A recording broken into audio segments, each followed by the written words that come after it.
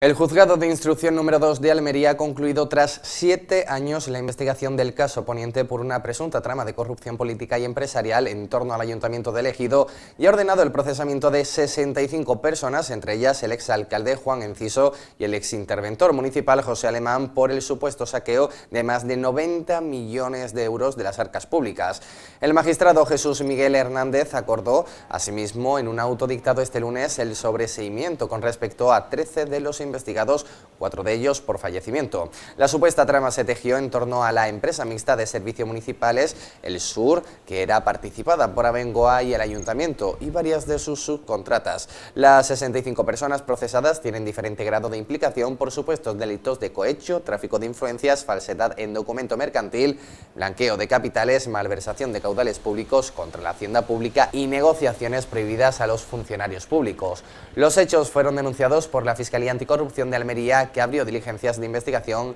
en 2008.